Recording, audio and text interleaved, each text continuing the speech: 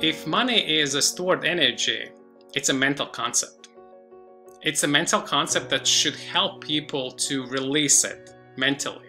Because otherwise, it's just the same way as we speak about oil as a stored energy. So you don't have to do anything about it. It's just there. It's a natural resource. And we have converted some of our activities into the connotation of money just for the ease of exchange. So make our life easier to not to bring your fish and butter with you all the time. Therefore, the concept of money being somewhat accumulative resource for perceived happiness or the level of your achievement is a delusion that people suffer from.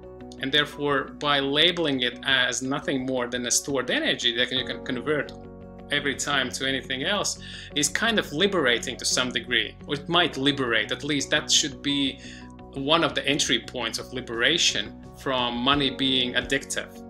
Because it's if you look at it as the energy that you that kind of on the one hand it measures your performance depending on what you do. And then it also projects of your opportunities to convert that stored energy into some experiences like traveling or buying new stuff. Therefore this is about shift the mental model. And why i'm speaking about that? Because i'm speaking about transformation being simple to the people. And now I will come back to the uh, you've seen this before. So this money is everything this money like here money is needs to be accumulated here money don't need to be accumulated needs to be flown and then when you tr trans make the transformation from one thought to another then you kind of liberate your addiction to this specific uh, understanding. I would refer to money put into the same category of accessible energies. It's the, it's the same as we access the sunlight. We access the natural resources. We access ourselves, our bodily energies. And then we convert some food into being more, uh, like uh, more uh, in a state of converting more energies.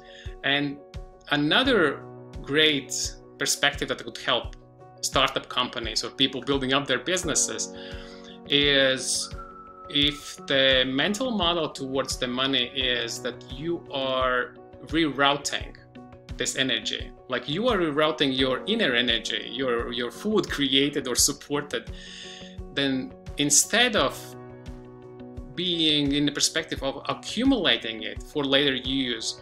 It's the model that speaks that you are there is a possibility you can get more more more and that kind of creates you an illusion okay then i'm kind of safe so the fear related thing instead of that if you see that you and as a person you cannot accumulate like you eat and you need to eat to keep yourself going. So it means the algorithm, how your body is, for example, having different um, nutritions from different food. So there's an algorithm which splits into the proteins and uses them. The same way we mentally can have algorithm that seeks for accessible energy, in this case money, and then stream it through our algorithms into the output. And if that's the way how people start to see money, that's a that's not a thinking of accumulator. That's a, a thinking of a transformer. So you're transforming accessible energy of in the form of money streaming through your algorithm. And if you improve your algorithms, you can create more out of the same accessible energy. So that's the paradigm shift that I'm communicating. And I think this is the way how people can be liberated from the suffering of having money, not having money. If you see it as a sunlight, if you see it as other natural resources or the food in the same category. And then delusion is destroyed. The same as with vision, and the same as with hearing, we have the spectrum. And if our spectrum of seeing money is very narrow and we see it only as a thing to accumulate, and uh, the happiness is related to that, then you don't see the opportunities it to be anything else. But once you start to widen up and say, well, it can be, of course, accumulated if you want, but then it's just a very low ratio for your productivity and for your result in your life for your family then you start to widen up your perspective of what money can be. And once start you realize it's not only that you can do accumulation you can also see it as a resource that you can transfer and you can use as an input for increasing the output. Then you start to think i'm not an accumulator. I am a transformer and i need to get better at the algorithm of, of converting this source of energy. And therefore that's the paradigm shift when people really give themselves more more opportunity for uh, for creating for being creators and being creative in this transformation of energy.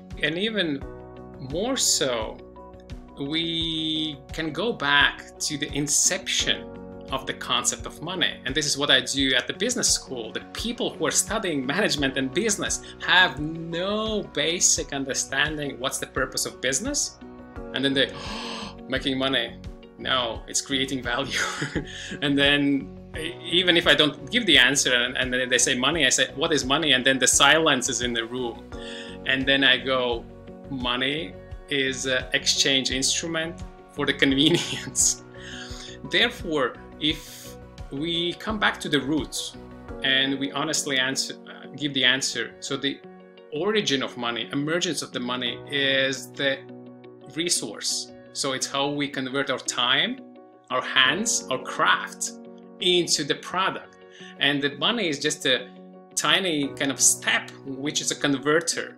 So therefore, even that says it's nothing about accumulation. It's just the means or the ways of transforming your natural state of activity into sort of energy that you can also transform to something else. And then you can really look and put it into the perspective.